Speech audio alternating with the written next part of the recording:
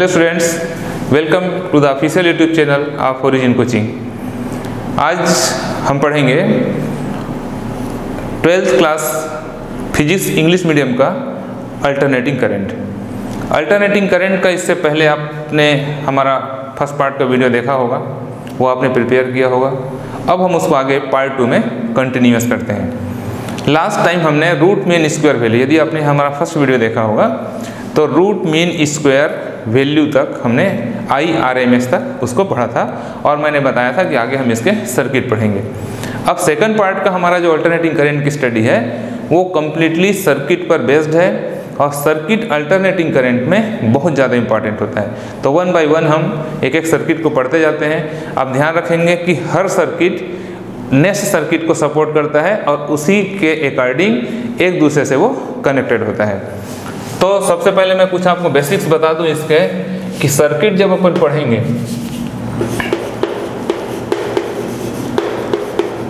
तो कितने सर्किट पढ़ेंगे और कौन कौन से सर्किट पढ़ेंगे एक इंट्रोडक्शन बता दूं तो सर्किट हम अल्टरनेटिंग करंट के जो सर्किट बनाते हैं वो थ्री डिवाइस थ्री इंस्ट्रूमेंट से हमारा मिल के बनता है या थ्री पार्ट से मिल के बनता है जिसमें सबसे पहले है हम यूज़ करते हैं रजिस्टेंस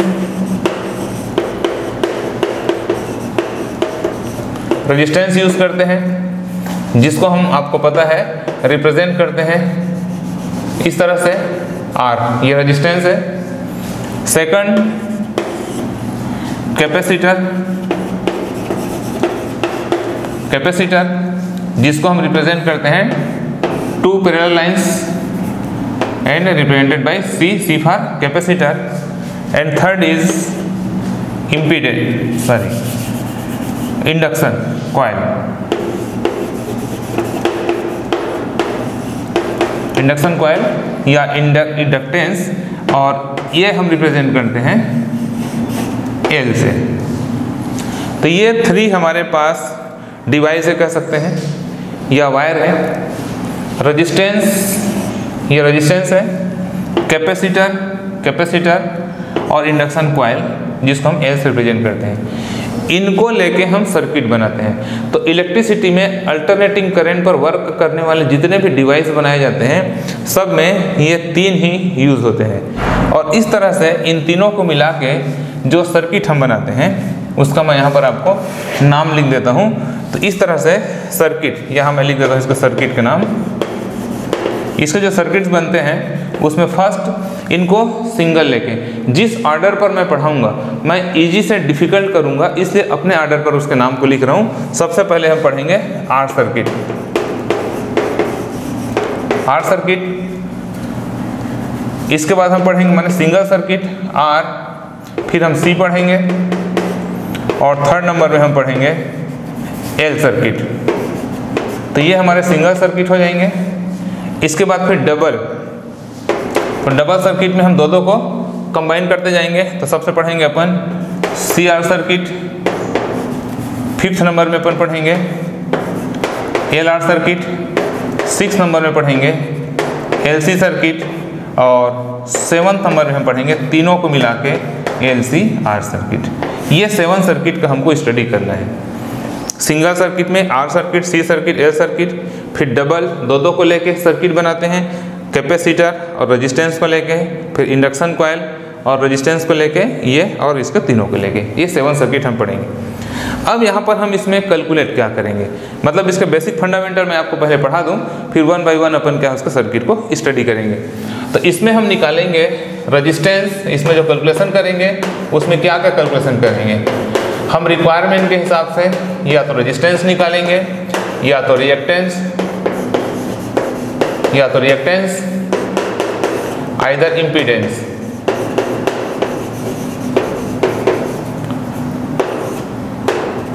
ये रेजिस्टेंस रिएक्टेंस एंड इम्पीडेंस तो what is resistance and reactance and impedance हम पहले आपको एक्सप्लेन कर दें कि है क्या एक्चुअल में ये तीनों रेजिस्टेंस ही हैं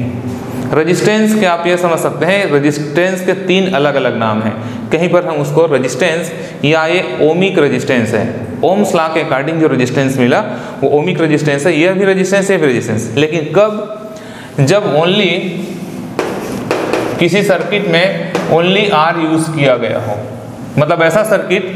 जिसमें ये रेजिस्टेंस ओनली यूज किया गया हो उसके रेजिस्टेंस को हम क्या कहेंगे रेजिस्टेंस ही कहेंगे लेकिन कोई ऐसा सर्किट जिस सर्किट में क्या हो एल आर सी यूज किया गया है एल आर सी मतलब या तो इंडक्शन कॉयल यूज़ किया गया हो ये या तो ये यूज़ किया गया हो तब हम उसके रेजिस्टेंस को देखिए कैपेसिटर का भी अपना एक रेजिस्टेंस होगा इंडक्शन कॉयल का भी अपना एक रेजिस्टेंस होगा तो इनके रेजिस्टेंस को हम क्या कहेंगे इनके रेजिस्टेंस को हम रिएक्टेंस कहेंगे और इसको हम रिप्रेजेंट करेंगे X L or X C से ये इसको रिप्रेजेंट करने का सिंबल है ये आप ध्यान रखना एक्स एल किसका रिएक्टेंस होगा X L is the reactance of induction coil and X C is the reactance of capacitor and impedance what is impedant impedance is two or more two or more जब हम दो या उससे अधिक ये जो मैंने अलग से यहाँ पर लिखा हुआ है ये जो फोर सर्किट में लिखा है इसका जो रेजिस्टेंस होगा उसके रजिस्टेंस को हम रजिस्टेंस नहीं कहेंगे उसके रजिस्टेंस को हम क्या कहेंगे इम्पीडेंस कहेंगे that means resistance reactance and impedance are resistance in different different cases if only resistance use then it is called resistance if L R C is use then it is called reactance if and two any two or more than two are use then it's resistance is called impedance and represented by Z इसको हम Z से represent करते हैं तो ये आप ध्यान रखना ये इसका बेसिक फंडामेंटल है तो पहले हम कैलकुलेशन तीनों में से कोई एक करेंगे और उसके बाद हम कैलकुलेट करेंगे फेस ये फेस क्या होता है देखिए या फेस डिफरेंस फेस मैं आपको बता चुका हूँ जो क्या कहलाता है phase is the factor which determine the direction and position of the current तो यहाँ पर हम निकालेंगे फेस डिफरेंस फेस डिफरेंस किसके किसके बीच में phase difference phase difference between current and voltage तो उसके लिए हम क्या करते हैं करंट के वोल्टेज से हम पोटेंशियल के वोल्ट फेस से या पोटेंशियल के फेस से करंट के फेस को माइनस करते हैं ये जो मैं आपको भी प्रिपेयर करा रहा हूँ ये क्या प्रिपेयर करा रहा हूँ सर्किट जो पढ़ाऊंगा उसका बेसिक बता रहा हूँ मैं आपको देखिए तो सपोज हमारे पास current I equal to I naught sine omega T plus five ये करंट का वैल्यू है और यहाँ पर ओमेगा टी प्लस फाइव क्या है इसका फेस है omega T plus five is the phase of current and suppose we have potential V equal to V naught sine omega T और अपने पास पोटेंशियल ये है तो इस कंडीशन में जब हम फेस डिफरेंस निकालेंगे यहाँ पर जब हम फेस डिफरेंस निकालेंगे तो फेस डिफरेंस निकालने के लिए क्या करेंगे हम करंट के फेस से that means omega t plus phi से हम क्या करेंगे पोटेंशियल के फेस को माइनस करेंगे तो क्या मिल जाएगा अपने को फेस डिफरेंस मिल जाएगा दैट मीन्स यहाँ पर फेस डिफरेंस क्या आ जाएगा फाइव तो फेस डिफरेंस को हम फाइव से रिप्रेजेंट करते हैं ये आप ध्यान में रखना इस तरह से हम फेस डिफरेंस निकालते हैं अब फेस डिफरेंस निकालने के बाद फेस डिफरेंस निकालने के बाद जो बहुत महत्वपूर्ण बात है वो ये है कि हम फेस डिफरेंस निकाल के किस तरह से पोटेंशियल और करंट के बीच में ग्राफ ड्रा करते हैं उसको हम बोलते हैं फेस ग्राफ ये फेस ग्राफ को आपको ध्यान से समझना है तो फर्स्ट फेस ग्राफ होता है leading leading graph leading graph में क्या होता है ये इस तरह का आपको ग्राफ मिलेगा हम एक्स एक्सिस में रिप्रेजेंट कर देंगे करंट को ये करंट को रिप्रेजेंट कर दिया मैं और वाई एक्सिस में हम रिप्रेजेंट कर देंगे पोटेंशियल को ये आप देखिए ये लीडिंग ग्राफ का ग्राफ है ये आपको लर्न करना है और यहाँ पर ये पाई बाई टू का एंगल है दैट मीन्स ये ग्राफ क्या कहलाएगा current I is pi by two leading with potential मतलब इस तरह के ग्राफ में आपको ये बताना है ये बता रहा है ये ग्राफ कि करंट जो है पोटेंशियल से पाई बाई टू लीड कर रहा है आगे है या उसको हम उल्टा ही बोल सकते हैं देखिए इस चैप्टर में कन्फ्यूजन है यदि आप चीज़ों को कई तरीके से पढ़ेंगे आप कन्फ्यूज हो जाएंगे जैसे कुछ राइटर अपने बुक्स में लिखे होंगे कि in this case potential is pi by two lagging with current वो भी सही है यदि मैं किसी से आगे हूँ तो वो तो बोल सकता है कि मैं इनसे पीछे हूँ तो दोनों बात सही है लेकिन आप एक तरीके से तैयार करिए current I is leading with potential and second phase graph is lagging lagging में क्या होता है देखिए ग्राफ इस तरह से आपको मिलेगा तो हमको एक्स एक्सिस में करंट को ही रिप्रेजेंट करना है आई और वाई एक्सिस में पोटेंशियल को और यहाँ पर आप लिख दीजिए पाई बाई टू तो ये क्या है pi by two lagging graph है क्लियर तो ये लीडिंग ग्राफ है ये लेगिंग ग्राफ है और हम क्या करेंगे हम हमेशा करंट के पोटे करंट के फेस से जैसे मैंने यहाँ पर एग्जांपल में आपको समझाया है करंट के फेस से क्या करेंगे अपन पोटेंशियल के फेस को माइनस करेंगे और करंट के फेस से पोटेंशियल के फेस को माइनस करने पर यदि प्लस पाई बाई टू मिले तो प्लस पाई बाई टू मिले तो आप क्या करेंगे करंट को लीडिंग कंडीशन में लेंगे मतलब यहाँ पर जो फाइव का वैल्यू है वो हो जाएगा five equal to plus five by two ये मान के चलना आप और इस केस में आप ध्यान रखना कि फाइव का वैल्यू क्या आ सकता है माइनस फाइव बाई टू आ सकता है लेकिन कब जब हम क्या करेंगे करंट से पोटेंशियल को माइनस करेंगे यदि हम पोटेंशियल से करंट को माइनस कर देंगे तो उल्टा मिलेगा तो ये बेसिक फंडामेंटल सबसे पहले आपको अपने दिमाग में सेट करना है उसके बाद फिर हमको एक एक करके सर्किट पढ़ना है क्लियर तो अब हम स्टार्ट करते हैं इसके सर्किट तो सबसे पहले अपन पढ़ेंगे यहाँ पर जो मैं चार्ट बताया आर सर्किट वैसे आप कहीं से स्टार्ट कर सकते हैं लेकिन मैं प्रॉपर वे में बता रहा हूँ जिससे आपको समझने में आसानी होगी बुक्स में राइटर अपने अलग सीक्वेंस में पढ़ा सकते हैं आर सर्किट सबसे इजी सर्किट है और इसमें ओनली रजिस्टर यूज होता है clear ohmic resistor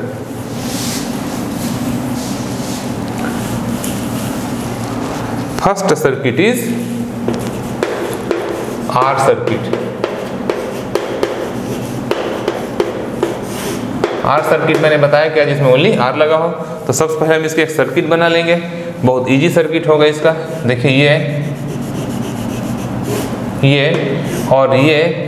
यहाँ पर हम अल्टरनेटिंग करेंट का सोर्स जिसको हम इस तरह से रिप्रेजेंट करते हैं ये सब मैं अपने फर्स्ट वीडियो में आपको बता चुका हूँ यदि आप में से किसी ने फर्स्ट वीडियो नहीं देखा है तो पहले वो देखें तो समझ में आएगा कभी भी किसी भी सीरीज़ को आपको वन से स्टार्ट करना है ये है अल्टरनेटिंग ए एसी और यहाँ पर हमने करंट सप्लाई किया सपोज आई और इसका जो पोटेंशियल है टर्मिनल का वो वी आर है इस तरह से हम ये आर सर्किट बना ली बहुत आसान है ओनली आर यूज़ होगा अब इसमें आप एक टेक्निक याद रखना कि किसी भी सर्किट को अपने को बनाना है तो हमको पोटेंशियल से स्टार्ट करके उसके कैलकुलेशन को करंट तक ले जाना है तो हम लिखते हैं since we know that V equal to V naught sine omega T ये हम जानते हैं अब आपको क्या करना है इसको आपको चेंज करके करंट में कन्वर्ट करना है तो नेचुरली आपको पता है कि क्या हो जाएगा ये यदि दोनों साइड में मैं आर को डिवाइड कर दूं तो v upon R equal to V naught upon R into हो जाएगा sine omega T R divide किया तो दैट इम्प्लाइज अब हम इनको ओम्स लास्ट लिख सकते हैं आई इक्वल टू ये हमने सपोज कर लिया क्या I naught sine omega T ये रिलेशन नंबर फर्स्ट ये रिलेशन नंबर सेकंड तो करंट को हमने पोटेंशियल को हमने करंट में कन्वर्ट कर दिया अब मैं आपको बताया कि फेस डिफरेंस निकालना है यहाँ पर अब हमको निकालना है फेस डिफरेंस तो फेस डिफरेंस निकालने के लिए क्या करेंगे फाई तो फाई निकालेंगे तो करंट का फेस क्या है ओमेगा टी है तो ओमेगा टी हो गया ये और पोटेंशियल का फेस कितना है वह भी ओमेगा टी है तो omega T minus omega T ये कैंसल आउट हो जाएगा और क्या मिल जाएगा zero that means in this case the current and the potential are in same phase इसमें क्या होते हैं I and V are in same phase ये बात आप कभी नहीं भूलना कि इसमें आई और भी क्या होते हैं सेम फेज में होते हैं और इसके यदि हम फेज ग्राफ देखिए ये चैप्टर बहुत टेक्निकल है आप बहुत टेक्निक से प्रिपेयर करेंगे तो आसान लगेगा अब हम इसको फेस ग्राफ ड्रा करें तो ये एक्स एक्सिस मैंने बोला था कि एक्स एक्सिस में करंट को लेते हैं अब हमको पोटेंशियल को लेना है तो पोटेंशियल को क्या करेंगे उसको भी हम सेम एक्सिस में लेंगे क्यों लेंगे क्योंकि दोनों के बीच में फेस डिफरेंस जीरो है तो इसका क्या होगा आर सर्किट का फेस ग्राफ हो जाएगा क्लियर और ये कहलाएगा peak value of the current which is equal to V naught upon R तो फेस डिफरेंस फाइव होगा ये ये दोनों चीज़ आपको याद रखना है कॉम्पिटेटिव एग्जाम के लिए भी आगे न्यूमेरिकल्स के लिए भी और आगे के सर्किट को समझने के लिए तो final conclusion is if resistance is use in any circuit then its current is always same phase with its potential they are in same phase same phase and this is the graph of current and potential clear ये हो जाता है are circuit अब देखिए इसी circuit को हम किस प्रकार से चेंज करते जाते हैं देखिए ये सिमिलर है एक सर्किट आपको समझ में आने के बाद बाकी सर्किट भी उसी तरह से बनते जाता है अब हम सेकंड नंबर में पढ़ लेते हैं ये लिख दिया मैंने सी सर्किट अब आपको क्या करना है रजिस्टेंस को यहाँ से हटाना है और इसके जगह क्या लगा देना है कैपेसिटर लगा देना है आसान है कुछ भी नहीं है ये मैं यहाँ पर कैपेसिटर लगा दिया ये आप सी लिख दो और वी आर के जगह में क्या हो जाएगा ये वी सी हो जाएगा बस सी सर्किट हो गया अब सी सर्किट में स्टार्ट तो यहीं से होगा हर सर्किट सिंगल सर्किट यहीं से स्टार्ट होगा अब इसको आपको चेंज करना है करंट में लेकिन कंडीशन क्या है by the help of capacitor अभी हमने क्या किया था रजिस्टेंस को यूज़ करके करंट बनाया था अब हमको क्या करना है कैपेसिटर सी को यूज़ करके इसको करंट बनाना है तो कैसे होगा since we know that C equal to Q upon V ये अपन जानते हैं कि सी इक्वल टू क्या होता है Q upon V that means Q equal to C into V directly देता हूँ मैं क्यू इक्वल सी इंटू भी अब ये चार्ज है अब ये C यहाँ यूज हुआ और चार्ज करेंट बन जाएगा डिफ्रेंशिएट करने से दैट इम्प्लाइज इसको हम क्या कह दिए पहले तो हम वैल्यू पुटअप कर देते हैं इसको स्मॉल क्यू लिख देता हूँ उससे खैर फर्क नहीं पड़ता है ये हो गया Q इक्वल सी का वैल्यू C है और V का वैल्यू यहाँ से ला के पुट कर दिए V naught sine omega T clear now differentiate now differentiate with respect to time both side अब हम क्या करेंगे इसका दोनों साइड का टी के रेस्पेक्ट में डिफ्रेंशिएट कर देंगे तो क्या हो जाएगा D Q by D T equal to D by D T of C V naught sine omega T clear अब अपने को पता है कि differentiation of charge with respect to time the rate of flow of charge देखिए आप algebraic language में Q upon T को क्या है करेंट बोलते हैं लेकिन कैलकुलस के लैंग्वेज में differentiation of Q with respect to time is called current तो यहाँ पर हम इसको क्या कह सकते हैं आई और यहाँ पर कैसा डिफ्रेंसिएशन होगा सी वी नाट क्या है कांस्टेंट है तो सी वी नाट को हमने बाहर लिख दिया और डिफ्रेंशिएट के कौन होगा साइन ओमेगा टी तो इसका डिफ्रेंसिएशन हो जाएगा ओमेगा कास ओमेगा टी या डिफ्रेंसिएशन वगैरह आपको सब पाना चाहिए इंटीग्रेशन डिफ्रेंसिएशन फिजिक्स में बहुत ज़रूरत है नहीं बनता तो मैं बार बार वीडियो में याद दिलाता हूँ आप मेरे बेसिक मैथमेटिकल टूल्स के वीडियो देखिए ठीक है मेरा जो बेसिक मैथमेटिकल टूल्स के जो वीडियो बनाया है वो कंसल्ट करिए मैंने कैलकुलस कंप्लीट बहुत अच्छे से वहाँ पर बताया है दैट इम्प्लाइज आई इक्वल अब हम क्या करते हैं सी वी नाट और ओमेगा को एक कांस्टेंट सपोज कर लेते हैं अभी एक बार ऐसे लिख देता हूँ सी वी नाट ओमेगा इसके बाद करेंगे अब इसको कास्ट को अपने को साइन में चेंज करना है तो कास को साइन में चेंज करने के लिए हम क्या लिख सकते हैं sine pi by two plus omega T क्योंकि अपने को टिग्नामेट्री के फार्मूला से पता है कि sine 90 plus theta equal to क्या होता है कास थीटा तो pi by two means 90 degree तो sine 90 plus theta is cos theta तो कास को हमने साइन में ऐसा कन्वर्ट कर दिया अब ऐसा क्यों किया क्योंकि हमारा जो स्टैंडर्ड फार्मूला होता है करेंट का वो I equal to I naught sine omega T होता है क्लियर अब हम इसको क्या करते हैं दैट इम्प्लाइज आई इक्वल ये जो मैं अंडरलाइन किया इसको हम सपोज कर लेते हैं आई नाट ये आई नाट हो गया और ये हो जाएगा sine pi by two plus omega T this is relation number second and here यहाँ पर लिख देंगे here I naught equal to C V naught into omega clear अब देखिए हमको ये इस फॉर्म में मिल गया और ये हमारा पोटेंशियल इस फॉर्म में है अब हम यहाँ से निकाल सकते हैं क्या phase difference therefore phase difference तो फेस डिफरेंस निकालने के लिए क्या करेंगे अपन फाइव फाइव इक्वल टू क्या होगा phase of the current phase of the current is pi by two plus omega T and phase of the old potential is omega T तो इसमें हम क्या करेंगे minus omega T omega T omega T minus हो कितना होगा पाई by to जो कि पॉजिटिव है इससे हमको क्या पता चलता है इससे पता चलता है कि करेंट जो है वह पोटेंशियल से पाई बाई टू लीडिंग है तो इसके बाद हम बना लेंगे फेस ग्राफ यदि हम इसका ग्राफ बनाएं तभी मैंने बताया ग्राफ किस तरह से बनेगा इसका ग्राफ ऐसा बनेगा ये हो जाएगा आई और ये हो जाएगा वी ये हो जाएगा वी सी यहाँ पर पोटेंशियल ऑफ कैपेसिटर तो उसको रिप्रेजेंट कर देंगे वी सी करेंट आई तो आई ही रहेगा और ये क्या है लीडिंग है देखिए ये पाई बाई टू लीडिंग है दैट मीन्स यहाँ पर हम क्या लिखेंगे thus it is clear that current is pi by two leading with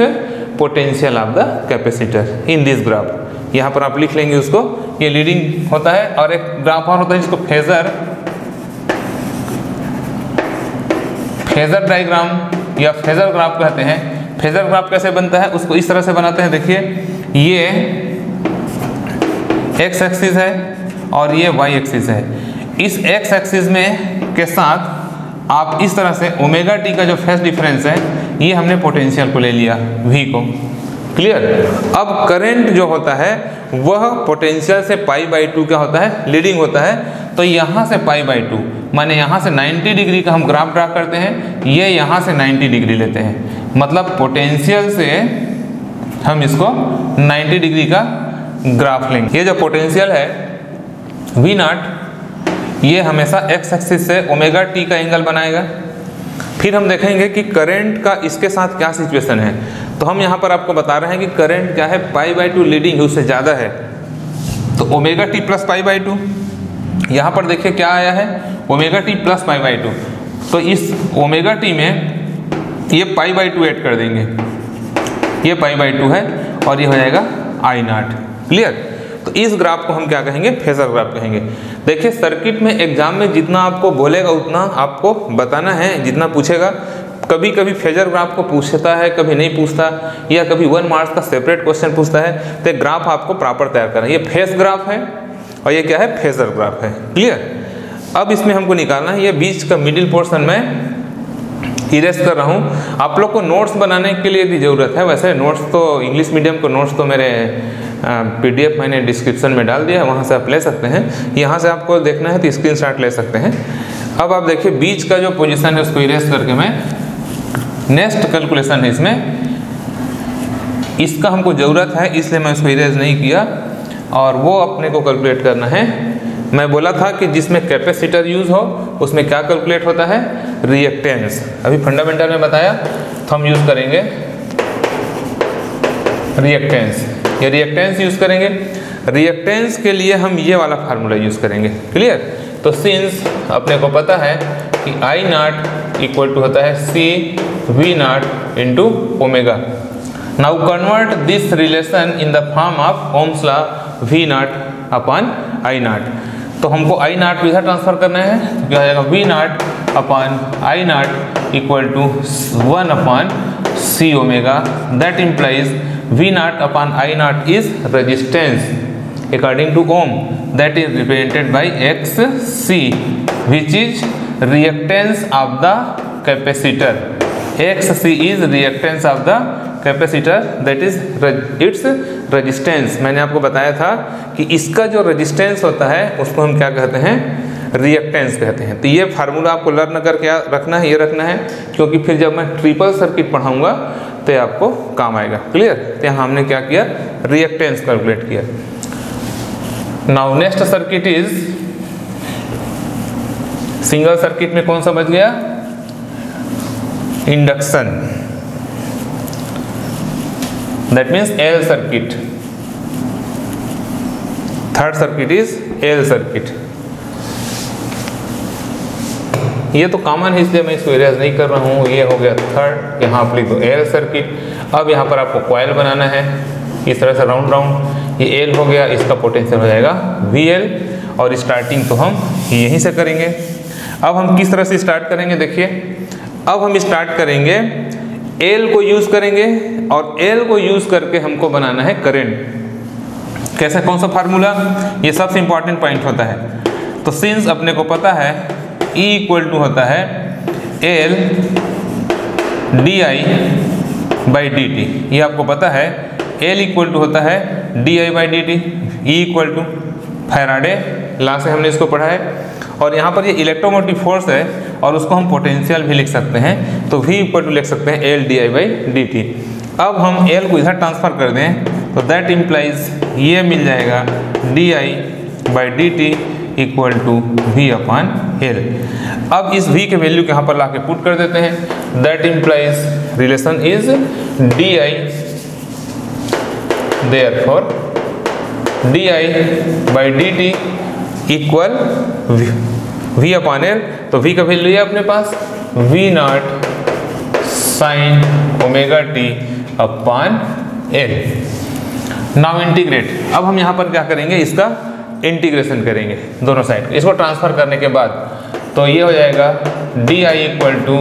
V naught upon L sine omega T into D T वहाँ डिफ्रेंशिएट किए थे यहाँ इंटीग्रेट करेंगे क्यों इंटीग्रेट करेंगे क्योंकि डिफ्रेंशिएट फॉर्म में है तो इंटीग्रेट करेंगे तो मिल integration of D I equal to integration of V naught upon L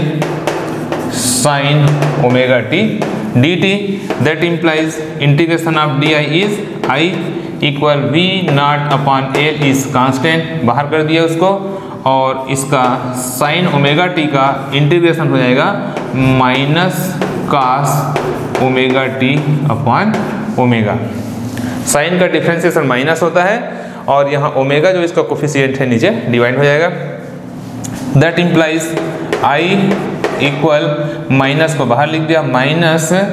V naught upon L omega into यहाँ पर देखिए ये कास कास ओमेगा टी को साइन में चेंज कर रहा हूँ तो साइन यहाँ पर क्या होता है ये लेगिंग कंडीशन में होता है इसलिए हम इसको इस फार्मूला से चेंज कर रहे हैं pi by two minus omega T क्योंकि साइन 90 माइनस थीटा भी क्या होता है कास थीटा होता है साइन 90 प्लस थीटा भी कास थीटा और साइन 90 माइनस थीटा भी कास थीटा क्लियर अब यहाँ पर इस साइन को मैं अंदर यूज़ कर दूँ तो दैट इम्प्लाइज आई इक्वल ये अंदर यूज कर दूँ इसको sine minus theta is minus sine theta देखिए बार बार मैं आपको बता रहा हूँ कि मैथ्स के जो स्टूडेंट हैं फिजिक्स के क्लास में हमारे दोनों स्टूडेंट पढ़ते हैं मैथ्स वाले भी बायो वाले भी मैथ्स वाले तो ये सब मैथ्स में पढ़े बायो के स्टूडेंट को यदि दिक्कत है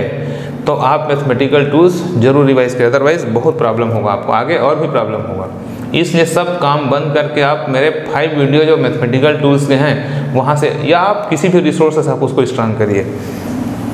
तो माइनस यहाँ पर मैं यूज़ कर दूंगा तो हो जाएगा V naught upon L omega into ये क्या हो जाएगा साइन पाई बाई टू है वो हो जाएगा omega T minus pi by two this is relation number second ये सेकंड और इतने को हम सपोज कर लेते हैं क्या आई नाट कितने को हमने सपोज किया है ये जो मैंने राउंड कर दिया that means here I naught equal to V naught upon L into omega ये सपोज किया है तो यहाँ तक इसको हम कैलकुलेट करने के बाद जब हमारा formula calculation I sine omega T के फॉर्म में कन्वर्ट हो जाएगा वी हमारे पास ये होता है तो हम क्या करेंगे फेस डिफरेंस निकालेंगे clear therefore phase difference therefore phase difference phi equal to इसका फेस क्या है omega T minus pi by two और minus phase of the potential is omega T ये दोनों कैंसर आउट होएगा और ये मिलेगा माइनस फाइव बाई टू यहाँ पर माइनस का मतलब केवल लेगिंग से है यदि आप किसी बुक में पढ़ेंगे तो ओमेगा टी से इसको माइनस किया होगा तो आप वो रंग है या मैंने गलत पढ़ा दिया ऐसा कंफ्यूज मत होना डिफरेंस निकालने के लिए आप फ्री हैं डिफरेंस का मतलब होता है किन्हीं दो चीज़ों में अंतर दैट मीन्स आप करंट के फेस से वोल्टेज को ही माइनस कर सकते हैं वोल्टेज के फेस से करंट को ही माइनस कर सकते हैं दोनों सही है लेकिन आपको सिर्फ ध्यान ध्यान ये रखना है कि ये लेगिंग ग्राफ है लेगिंग ग्राफ है और मैं माइनस इसीलिए यूज़ करता हूँ ताकि स्टूडेंट माइनस देख के अलर्ट हो जाए कि वो लेगिंग है तो दे आर फॉर हम क्या करेंगे फेस ग्राफ बनाएंगे therefore phase graph phase graph क्या हो जाएगा इस तरह से ये अभी लेगिंग का ग्राफ है तो इस एक्सिस में अपन बनाएंगे आई और इस डायरेक्शन में हो जाएगा क्या V L potential of the induction coil inductance और ये हो जाएगा पाई बाई टू क्या है ये लेगिंग तो therefore I is pi by two lagging with V L ये आपको ध्यान रखना है लेगिंग होता है फिर बनाएंगे हम क्या फेजर ग्राफ या फेजर डायग्राम तो फेजर डायग्राम अभी मैं बताया किस प्रकार से बनाएंगे ये ये हो गया एक्स एक्सिस ये वाई एक्सिस पोटेंशियल का जगह तो ओमेगा टी के साथ में फिक्स है ये है वी नाट और ओमेगा टी अब यहाँ पर देखिए हमारे फार्मूला में क्या है omega T minus pi by two मतलब अब ओमेगा टी में पाई बाई टू क्या होगा माइनस होगा तो यहाँ पर ग्राफ ऐसा बनेगा ये बनेगा ये आई नाट होगा और ये हो जाएगा omega T minus pi by two मतलब टोटल का टोटल कितना है पाई बाई टू है तो ये कहलाएगा फेजर ग्राफ किसके लिए इंडक्शन कॉयल के लिए क्लियर तो ये हमारे थ्री सिंगल सर्किट हो गए इस थ्री सिंगल सर्किट के बेस पर ही हम ट्रिप डबल और ट्रिपल सर्किट को बनाते हैं तो ये फंडामेंटल आपको सबसे पहले क्लियर होना चाहिए किसका सिंगल सर्किट का अब हम स्टार्ट करते हैं डबल सर्किट क्लियर उसका वर्किंग जो स्टेप है वो थोड़ा अलग है लेकिन इसी के हेल्प से बनेगा वो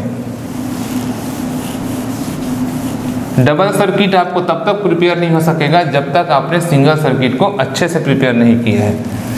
तो सबसे पहले अपन पढ़ेंगे C R circuit that means capacitor and resistor use circuit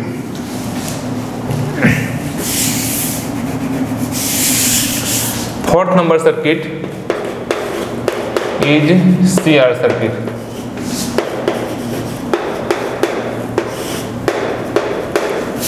देखो सर्किट कैसे बनेगा कैपेसिटर यूज करेंगे ये और कैपेसिटर के साथ में यूज करेंगे अपन क्या रेजिस्टेंस सी आर अब इसको हम अल्टरनेटिंग करंट के सोर्स से कनेक्ट कर देंगे ये अल्टरनेटिंग सोर्स है इसको हम लिख सकते हैं V equal to V naught sine omega T the amount of current is I the potential of capacitor is vc and the potential of the resistor is vr ये लिख लेंगे तो ये हो जाएगा सी आर सर्किट सी और आर हमने use किया है इसके बाद क्या करना है हमको दोनों का पोटेंशियल लिखना है एक्सप्लेन सर्किट एक्सप्लेन करने के बाद since V C equal to V C equal to क्या हो जाएगा करेंट इंटू इट्स रिएक्टेंस तो V C equal to I into X C and V R equal to I into R ये अपन जानते हैं क्योंकि potential equal to current into resistance ये भी वही है क्योंकि मैं बता बार बार बता रहा हूँ आपको रजिस्टेंस है सिंस अब हम यहाँ पर लिखेंगे सिंस आई इज अभी हमने पढ़ा है since I is pi by two leading leading with V C and the same face and the same face with R then मतलब क्या लिखा मैंने यहाँ पर अभी जो सिंगल सर्किट में आपको पढ़ाया क्या पढ़ाया कि आपने देखा कि करंट जो होता है वह पाई बाई टू लीडिंग होता है किससे वी से और वह रजिस्टर आर के साथ में क्या होता है सेम फेस में होता है इस बात को लेकर यदि हम ग्राफ बनाएं तो हमारा फेस ग्राफ किस प्रकार से बनेगा फेस ग्राफ कैसे बनेगा फिर देखिए ये ये हमने इस एक्सिस में करंट लिया और इसी के साथ में वी आर लेंगे क्योंकि करंट और वी आर क्या होता है सेम फेस में होता है और ये हो जाएगा वी सी जो आपने भी ग्राफ में पढ़ा इसको वी आर ऊपर ये दोनों के बीच में पाई बाई टू का एंगल होगा अब ये जो रिजल्टेंट है ये है सपोज आई नाट तो यहां पर ये या इसको अपन कहेंगे रिजल्टेंट पोटेंशियल भी सॉरी पोटेंशियल होगा नहीं रिजल्टेंट पोटेंशियल तो वी आर और वी सी वी आर और वी सी का जो रिजल्टेंट पोटेंशियल होता है वो ये होता है और रिजल्टेंट पोटेंशियल करंट के साथ जो एंगल बनाता है वो यहाँ पर फेस डिफरेंस होता है मतलब यहाँ फेस डिफरेंस का कांसेप्ट बदल जाता है यहाँ पर हम फेस डिफरेंस निकालने के लिए करंट के फेस से पोटेंशियल के फेस को माइनस नहीं करते ये ग्राफ की हेल्प से अपने को पता है अब इस ग्राफ में यदि हम देखें तो यहाँ पर हम एक परपेंडिकुलर ड्रा कर दें तो एक राइट एंगल ट्राइंगल बन जाएगा और यहाँ पर हम पाइथागोरस थ्योरम लगा दें ये भी ये है तो हाइपोटेनियस है ये परपेंडिकुलर है ये बेस है तो दे आर फॉर यहाँ पर हो जाएगा ये हाइपोटेनियस का square V square equal to V R square ये V R square plus V C square ये पैथागोरस थ्योरम हो जाएगा दैट इम्प्लाइज आगे इसको सॉल्व करें तो V square equal to V R को हम यहाँ से क्या लिख सकते हैं आई इंटू आर ये हो जाएगा I into R whole square plus ये हो जाएगा I into X C whole square clear then after that common i square and transfer in this side that means therefore v square upon i square is equal to r square plus xc square plus xc square that implies v square upon i square is resistance and resistance of the CR circuit is called impedance इसीलिए आपको पूरा fundamental basic आपको पढ़ते हुए चलना है अभी मैंने स्टार्टिंग में बताया कि हम उसको इम्पीडेंस कहते हैं तो इसको हम क्या लिख सकते हैं Z Z square equal R square plus अभी हमने सिंगल सर्किट में पढ़ा है X C equal to one upon omega C ये हो जाएगा one upon omega C whole square that implies the value of Z is square root both side that means R square plus one upon omega C whole square this is the impedance of C R circuit तो यदि आपको exam में impedance calculate करने के लिए बोलेगा तो यहाँ तक आप निकालेंगे क्लियर अब इसके बाद हम निकालते हैं फेस डिफरेंस फेस डिफरेंस यहाँ पर फेस डिफरेंस का कैलकुलेशन का मेथड चेंज आएगा here phase difference is calculated by the help of tan phi tan phi by the help of graph the value of tan phi is perpendicular upon base here perpendicular is vc and the base is vr that means the tan phi is equal to vc upon vr that implies put up the value of vc and vr the value of vc is i into xc and the value of vr is i into r that implies After simplify, tan phi I are cancelled and the value of uh, x c is 1 upon omega c and into r. ये आपको मिल जाएगा clear अब हमको five चाहिए तो ten उधर transfer कर देंगे तो फाइव इक्वल टू हो जाएगा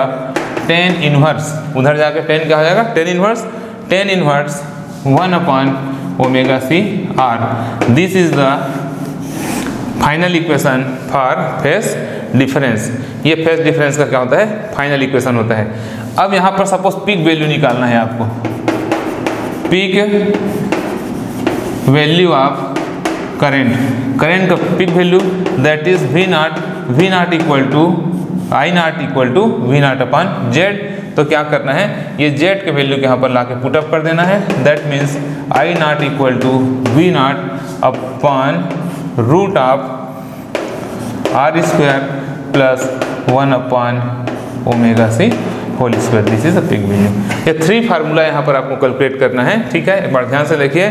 सबसे पहले हम ग्राफ बनाएंगे सर्किट बनाएंगे लीडिंग लेगिंग लिखेंगे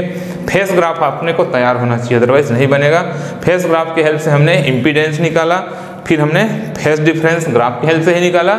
और ये निकाला हमने peak value of the current ये सिंग ये डबल सर्किट है और यहाँ पर जो एल आर सर्किट है वो एल आर सर्किट कम्प्लीटली इसी पर डिपेंड होगा कम्प्लीटली तो यहाँ पर मैं इसको पूरा इरेज करने के बजाय मैं आपको एक टेक्निक सिखा रहा हूँ कि आप क्या क्या चेंज करोगे तो एल आर सर्किट बन जाएगा तो मैं जहाँ जहाँ इरेज करूँगा और जो जो लिखूँगा उसको आप ध्यान से देखेंगे अब मैं आपको पढ़ा रहा हूँ फिफ्थ नंबर का सर्किट जिसको हम क्या कहेंगे एल देखो मैं यहाँ पर लिख दिया एल नॉमिनल चेंज एल अब एल आर सर्किट है तो यहाँ पर हम क्या लगा देंगे इंडक्शन कॉयल लगा देंगे मतलब मैं आपको ये सिखाना चाह रहा हूँ कि एक सर्किट यदि तैयार हो डबल वाला तो सब उसी तरह बन जाएगा ये एल हो गया अब देखिए यहाँ पर वी सी की जगह क्या लिखेंगे वी एल तो एक्स सी की जगह क्या हो जाएगा एक्स एल हो जाएगा अब यहाँ पर लिखा since I is pi by two leading leading की जगह क्या हो जाएगा लेगिंग क्योंकि आपको मालूम है कि एल के साथ वो लेगिंग होता है तो लेगिंग विथ वी सी की जगह में वी एल ये क्लियर और ग्राफ आपका जस्ट अपोजिट हो जाएगा मतलब नॉमिनल चेंज है ग्राफ आपका ऐसा हो जाएगा ये ये करंट ये पोटेंशियल वी एल ये रिजल्टेंट पोटेंशियल वी और इसके साथ में सेम फेस में वी आर अब देखिए ये यहाँ पर फाई है यहाँ पर परपेंडिकुलर ड्रा किया मैं इस तरह से तो क्या हो जाएगा V square hypotenuse equal to V R square plus V L ये वी सी की जगह क्या हो जाएगा वी एल हो जाएगा और तब ये क्या हो जाएगा एक्स एल हो जाएगा आप सी को एल करते जाइए यहाँ पर भी क्या हो जाएगा एल हो जाएगा और एक्स एल का value one upon omega C नहीं क्या होता है ओमेगा एल हो जाता है ये भी क्या हो जाएगा ओमेगा एल हो जाएगा क्लियर इस तरह से यहाँ पर आप इसको वी एल लिखेंगे इसको एक्स एल लिखेंगे और वन अपॉन ओमेगा सी के बजाय क्या हो जाता है वो ओमेगा एल अपॉन आर यहाँ पर भी क्या हो जाएगा ये ओमेगा एल दैट मीन्स मैं इसमें इसलिए इस तरह से आपको पढ़ाया कि आप ये समझ लो कि एल सी आर सर्किट तैयार होने के बाद एल आर सर्किट तो अपने आप तैयार हो जाता है देखिए मैंने उसी में करेक्शन करके इसको उसके लिए बना लिया आप समझ गए होंगे कि मैंने क्या क्या किया मतलब दोनों सेम है क्लियर और एल सी आर भी लगभग सेम है एलसी सर्किट में थोड़ा डिफरेंस है तो देखिए सर्किट कैसे हम पढ़ते हैं पहले तीनों सिंगल सर्किट तैयार करो फिर तीनों डबल सर्किट तैयार करो फिर एल और इस चैप्टर में सबसे इंपॉर्टेंट एल सर्किट ही है तो अब मैं इसका नेक्स्ट सिक्स नंबर का सर्किट आपको पढ़ा देता हूँ एल सर्किट जो कि बहुत ईजी है और उसमें एक नया कॉन्सेप्ट आएगा एक बार इसको इरेज ही कर देता हूँ एल सर्किट इस सर्किट को हम टैंक सर्किट या ऑक्सलेटरी सर्किट के नाम से भी जानते हैं क्यों ऐसा बोलते हैं मैं आपको लास्ट में एक्सप्लेन करूंगा LC circuit is also known as tank circuit ये सेमीकंडक्टर जब मॉडर्न फिजिक्स पढ़ेंगे इसका यूज़ होगा now six number circuit is L C circuit circuit किस तरह से बनाएंगे ये एल और ये कैपेसिटर ये alternating current LC, its potential is VL, its potential is VC, amount of current is I, and V equal to V naught sin omega t. Since here VL equal to I into XL, first VC equal to I into X से second इसके बाद यहाँ पर आप जो अभी मैं theory लिखा था वो लिख लेंगे since V L is pi by two lagging with I and V C is pi by two leading with L ये थ्योरी लिखने के बाद हम यहाँ पर बना लेंगे इसका phase graph therefore its phase graph किस तरह से बनेगा देखिए ये एक्स एक्सिस में अपन लेंगे क्या करेंट अब ये क्या है इसके साथ लीडिंग है तो वी होगा और ऊपर हमेशा क्या होता है वी होता है ये ग्राफ बनेगा अब यहाँ पर प्रॉब्लम क्या आता है आप समझ गए होंगे कि अभी तक हमारे सर्किट में वी आर यहाँ होता था हम दोनों का रिजल्टेंट निकाल लेते थे लेकिन यहाँ पर एक इस डायरेक्शन में है और दूसरा जस्ट अपोजिट डायरेक्शन में है इसका रिजल्ट निकालने के लिए हमको यह पता होना चाहिए कि वी एल और वी सी में ग्रेटर कौन है दोनों का डायरेक्शन जस्ट अपोजिट है तो हमको माइनस करना पड़ेगा लेकिन ग्रेटर वैल्यू कंडीशन पता नहीं होने पर हम इस तरह से निकालते हैं therefore V equal to the difference of V L and V C ये डिफरेंस का साइन है आप ध्यान रखना ये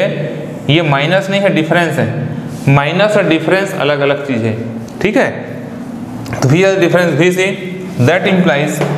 V equal V L का वैल्यू हम यहाँ से पुटअप कर दें तो क्या हो जाएगा I into X L difference I into X C that implies I को कॉमन करके यहाँ ट्रांसफ़र कर दूँ तो V upon I equal to हो जाएगा X L difference X C अब यहाँ पर देखिए ये वी अपन आई को हम क्या लिख सकते हैं जेड तो Z equal to X L difference X C तो यहाँ पर जो इम्पिडेंस निकलता है वो इम्पिडेंस क्या होता है इंडक्शन कॉयल के रिएक्टेंस और कैपेसिटर के रिएक्टेंस के डिफरेंस के इक्वल होता है अब ग्रेटर वैल्यू में स्मॉलर वैल्यू को आपको उसमें माइनस करना होता है लेकिन यहाँ पर इन जनरल यहाँ पर जो सबसे इम्पॉर्टेंट बात यह है वो ये है कि इसमें एक एक स्पेशल केस होता है जिसको बोलते हैं रेजोनेंस रेजोनेंस बहुत इंपॉर्टेंट टॉपिक है अभी हम यहाँ पर इसके बेसिक आपको पढ़ा रहे हैं बाद में इसमें रेजोनेंस सर्किट अलग से आपको एक सेपरेट वीडियो में पढ़ाएंगे क्योंकि रेजोनेंस इस चैप्टर का सबसे इंपॉर्टेंट टॉपिक है बोर्ड एग्जाम के लिए भी और कॉम्पिटिटिव एग्जाम के लिए भी तो यहाँ पर जो फंडामेंटल बताऊँगा उसको आपको अच्छे से समझना है तभी आपको आगे का टॉपिक समझ में आएगा तो रेजोनेंस एक स्पेशल केस है इसमें क्या होता है ये जो एक्स एल है वह एक्स सी के इक्वल हो जाता है that means the reactance if the reactance of induction coil is equal to the reactance of the capacitor then its condition is resonance condition that means इसका जो potential है coil का और capacitor का जो potential है suppose दोनों equal हो जाएं तो वो resonance का condition कहलाता है equal अभी equal नहीं है इसलिए हम difference निकाल रहे हैं लेकिन suppose equal हो जाए तो resonance condition होगा और इस रेजोनेंस फ्रीक्वेंसी को हम कैलकुलेट करें तो ओमेगा एल इक्वल टू इसको लिख सकते हैं omega L equal to one upon omega C that implies omega को इधर ट्रांसफर कर दीजिए ओमेगा एल इक्वल टू हो जाएगा one upon L to C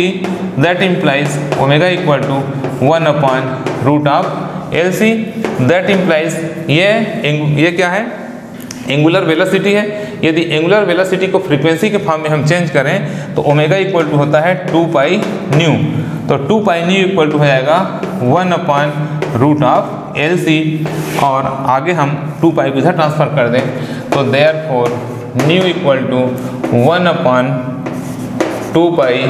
root of L C ये बहुत ज़्यादा इम्पॉर्टेंट फार्मूला है इसको बोला जाता है resonance frequency this is called resonance the formula of resonance frequency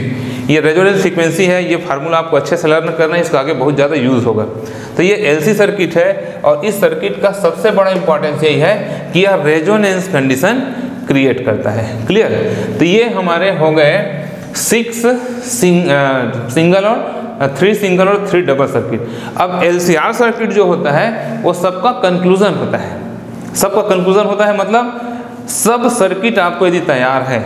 यदि पूरे सिक्स सर्किट आपको तैयार है तभी आप क्या है एल सर्किट को समझ सकते हैं अदरवाइज नहीं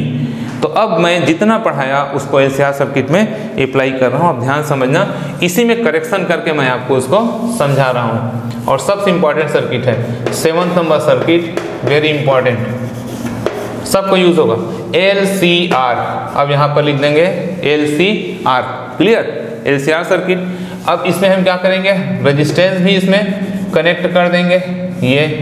रजिस्टेंस कनेक्ट कर दिया आर इसका पोटेंशियल हो गया क्या पी आर देखिए कैसे एक्सटेंड होते जा रहे है ना उसको वाच कर इसीलिए मैं जानबूझ के इसी में करेक्शन कर रहा हूँ नहीं तो अलग से लिखता तो मैं बना दिया एल सी आर अब यहाँ पर एल के लिए लिखा हूँ सी के लिए लिखा हूँ तो आर के लिए भी लिखूंगा वी आर इक्वल हो जाएगा I into R relation number third अब इस ग्राफ में वी एल और वी सी को हमने जगह दिया है तो अब आर को भी जगह देंगे तो आर का पोजिशन कहाँ है यहाँ होगा क्यों क्योंकि करेंट के सामवोध साथ वो सेम फेस में होता है देखो सब यूज़ हो रहा है करेंट वी सी से pi by two leading V L से पाई बाई टू लेगिंग और वी आर के साथ सेम फेस में यही सब कुछ है ये ग्राफ ही सब कुछ है आगे मैं यहाँ पर कैलकुलेशन को थोड़ा अलग ढंग से लिखता हूँ अब यहाँ पर यह रेजोनेंस फ्रिक्वेंसी सेम रहेगा इसमें भी रेजोनेंस फ्रिक्वेंसी होगा और सेम होगा इसको बार बार प्रिपेयर करने की ज़रूरत नहीं है अब इस ग्राफ को आप ध्यान से समझो देखो ग्राफ में ही थोड़ा ध्यान देना ये वी एल है ये वी सी है ये वी आर है यहाँ पर तीन चीज़ है इस पॉइंट पर तो सबसे पहले हम वहाँ पर वी और वी सी का रिजल्टेंट निकालेंगे तो यहाँ पर हम कंसीडर कर लेंगे कि if V L is greater than V C ये हमने माना है अब आप सोचोगे कि सर आपने वी सी को वी एल से ग्रेटर क्यों नहीं माना मान सकते हैं आप वैसे ही मान के बना लेना सब फार्मूला सेम आएगा मतलब दोनों में से किसी एक को ग्रेटर अपने को सपोज करना है अब वी एल और वी सी में वी एल को ग्रेटर सपोज कर लिया तो वी एल और वी सी का जो रिजल्टेंट होगा resultant of V L and V C is V L minus V C क्योंकि बड़ा कौन है वी एल है तो रिजल्टेंट का डायरेक्शन ऊपर हो जाएगा क्योंकि वो जाता है क्लियर यदि मैं वी को ग्रेटर सपोज करता तो रिजल्टेंट किधर लेता नीचे लेता ग्राफ उल्टा बनता ऊपर बन उसका भैया नीचे बनता और ये है resultant potential resultant potential of the V L minus V C and V R आप ध्यान रखना किसका रिजल्टेंट है वो V L minus V C और वी आर का सबसे पहले वी एल और वी सी का रिजल्टेंट निकाला V L minus V C फिर V L S minus V से वी आर का रिजल्टेंट ये निकाला यहाँ से आप परपेंडिकुलर ड्रा कर दो और ये क्या हो जाएगा यहाँ पर फाइव अब यहाँ पर हम पाइथागोरस थ्योरम लगाते हैं तो by Pythagoras theorem V square equal this and this मतलब V L minus V C whole square plus V R whole square आगे इसको हम सिंप्लीफाई करेंगे that implies V square equal to V L का value अपने को पता है क्या होता है I into X L minus I into X C का होल स्क्वायर और plus I into R whole square that implies I square common करो V square upon I square equal X L को लिख सकते हैं अपन ओमेगा एल माइनस इसको लिख सकते हैं one upon omega C whole square plus R square now V square upon I square is Z square impedance ये सब बता चुका मैं आपको इम्पीडेंस हो जाएगा जेड स्क्वायर इक्वल टू ये हो गया omega L minus one upon omega C whole square plus R square that implies Z equal square root लेंगे दोनों साइड का दैट इक्वल ही हो जाएगा ओमेगा एल माइनस सी का whole square plus R square this is the formula of impedance ये impedance हो जाएगा अब हम निकालेंगे क्या फेस डिफरेंस ये फार्मूला वैसे ही है सब जैसे भी निकालेंगे रिविजन है एक तरह से फेस डिफरेंस किससे निकालेंगे टेन फाइव से तो टेन फाइव पेंडिकुलर क्या है यहाँ पर ये है V L minus V C तो V L minus V C upon V R that implies tan phi equal to V L is I into X L minus I into X C upon I into R I common होके cancel हो जाएगा ये हो जाएगा tan phi equal यहाँ पर बचेगा x L जिसको हम लिख सकते हैं क्या omega L minus one upon omega C upon R clear that implies यदि हम इसको फाइव के लिए लिखना चाहें तो फाइव इक्वल टू क्या हो जाएगा ये ये हो जाएगा tan inverse omega L minus one upon omega C upon R ये है फाइव का वैल्यू क्लियर इस प्रकार से ये फेस डिफरेंस निकल जाएगा और सपोज अपने को पिक वैल्यू निकालना है पिक वैल्यू ऑफ करेंट तो क्या हो जाएगा I naught equal to V naught upon Z ये जो जेड का वैल्यू है उसको ला के यहाँ पुटअप कर देना तो ये फार्मूला निकल जाएगा और फिर आपको निकालना है इसमें रेजोनेंट फ्रीक्वेंसी तो रेजोनेंट फ्रीक्वेंसी अभी जो निकाला वैसे ही निकलेगा सेम टू सेम वैसे ही निकलेगा उसको कॉपी कर लेना तो एग्ज़ाम में कभी भी एल सर्किट पूछता है तो पार्ट पार्ट में पूछता है कि आपको क्या निकालना है सपोज़ आपको इम्पीडेंस निकालने बोला तो यहाँ ब्रेक कर दोगे अपना कैलकुलेशन सपोज़ आपको ये निकालने बोला तो ये निकालोगे पिक विल मतलब बोलेगा इस तरह से क्वेश्चन आता है explain series L C R resonance circuit in following heads calculate this this and this तो वो आप निकालते जाओगे जो और मार्क के वेटेज के हिसाब से बोर्ड एग्जाम में आता है और रहा सवाल कॉम्पिटेटिव एग्जाम का तो हर पॉइंट इसका इंपॉर्टेंट है सबसे इंपॉर्टेंट इसका ग्राफ है आपको ग्राफ अच्छे से समझना है ये फार्मूले लर्न करना है अदरवाइज एक भी न्यूमेरिकल आपसे नहीं बनेगा तो ये सेवन सर्किट मैंने आपको बताया और आपको बार बार ये बात याद दिला रहा हूँ कि ये पूरा सेवन सर्किट बहुत अच्छे से तैयार कीजिए तभी आपको इस चैप्टर का नेक्स्ट टॉपिक नेक्स्ट वीडियो आपको समझ में आएगा जहां हम रेजोनेंस और आगे पढ़ेंगे एलसीआर बहुत इंपॉर्टेंट मतलब ये अल्टरनेटिंग का बहुत इंपॉर्टेंट चैप्टर है और बड़ा चैप्टर है तो आप उसको मेरा थोड़ा मेहनत करके पढ़िए ओके थैंक यू